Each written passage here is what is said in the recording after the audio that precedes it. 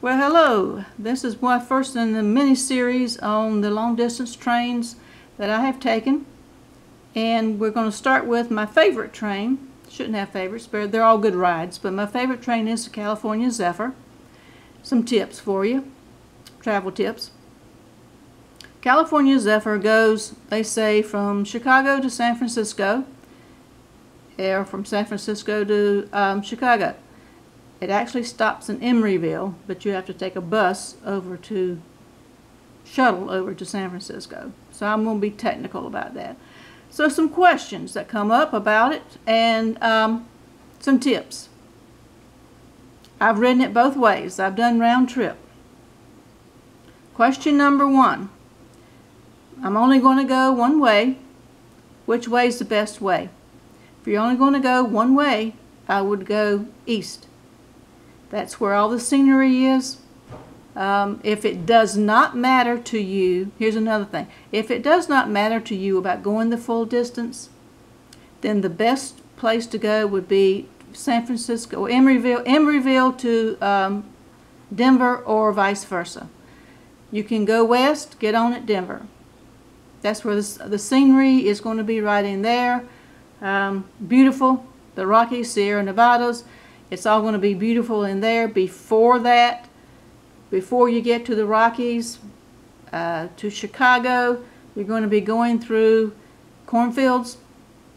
There's nothing wrong with cornfields. If you want to see the United States, please go at it. I've never seen so many thousands and thousands of acres of corn in my entire life, uh, which was interesting to me. But it's um, going from Chicago to Emeryville.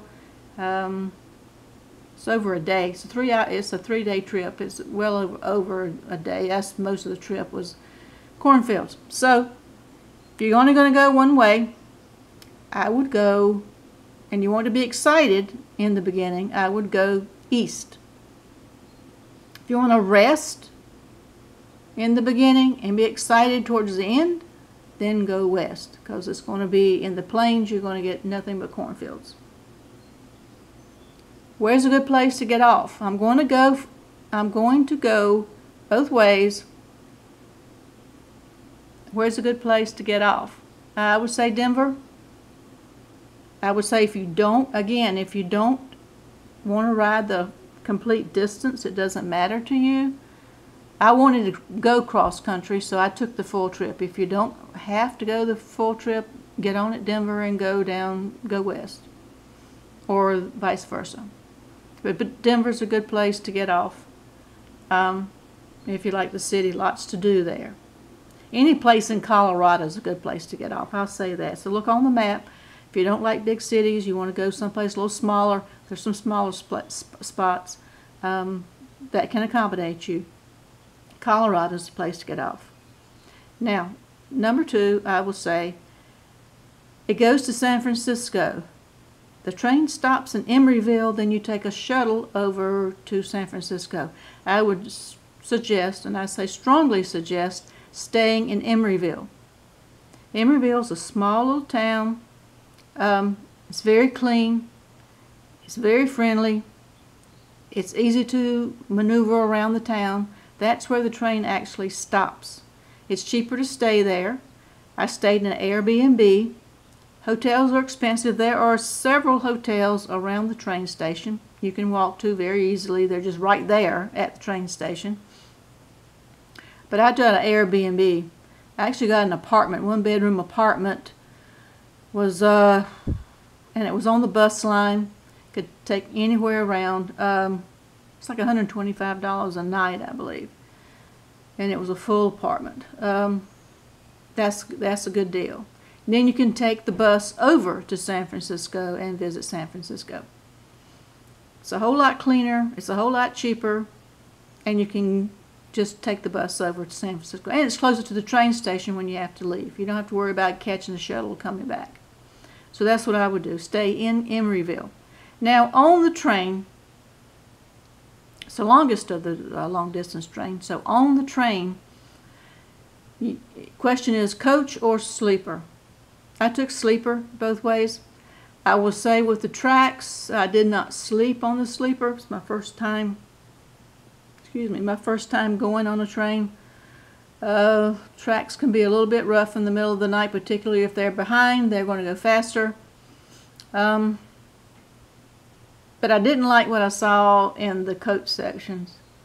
Uh, and I'll say what I saw. Personally, the train that I was on, going and coming back, the two different trains, but going and coming back, they weren't that clean as the other trains I've been on. So for me personally, coach would not have worked. And it isn't the longest train. a lot of people do ride coach. A lot of people do sleep in the lounge car. You don't have to stay in coach. People are in the lounge car. That's where the uh, scenery is. I lived in the lounge car. I was only in the sleeper just a few minutes. Tried sleeping in the lounge car because I do sleep better on a train sitting up, and I found it to be kind of cold. Be sure to take an extra blanket on that particular train. So if money is a big issue for you, it can be done. Move around a lot.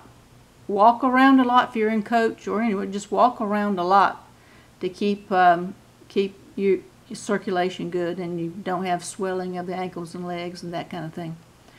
But uh, it can be done. It is the longest way. I personally would take a sleeper at least part of the way.